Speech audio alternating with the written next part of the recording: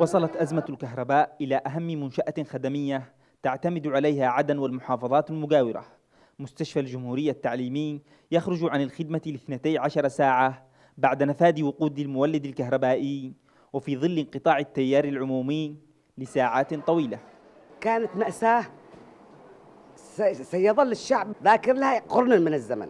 كان مساء قاسيا لا يفرق وضع المستشفى عن بقية منازل المدينة. التي سجلت قرابة العشر وفيات إلا أن إدارة المستشفى تنفي أن يكون انطفاء الأجهزة الطبية سببا في وفاة الحالات المسجلة. انقطاعات الكهرباء تسببت تلف كبير بالمهاليل وأيضا قرب الدم أكثر من 60 قربة. عاد التيار الكهربائي بعد توفير كمية إسعافية لكن المرضى والأطباء وفنيو المستشفى لا ينسون الساعات العصيبة في مختلف الأقسام.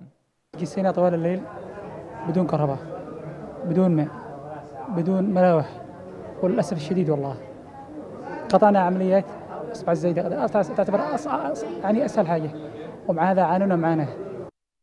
قسم الغسيل الكلوي أيضا مرت على مرضاه ساعات الانطفاء مهددة لحياتهم. نناشد الجهات المعنية أنه القطاع الصحي عندما يكون هناك في إشكالية في انقطاع التيار الكهربائي أو حتى المياه لأنه نحن عملنا يتركز على التيار الكهربائي والماء يكون هناك في احتياطي آه، يؤمن حياة هؤلاء الناس.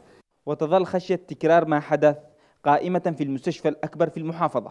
بعد 12 ساعة من الانقطاع غير المسبوق يعود التيار الكهربائي إلى مستشفى الجمهورية بكمية إسعافية من مادة الديزل مهددة بالنفاذ ما يعرض هذا المستشفى العام لتكرار مأساة البارحة. آدم الحسين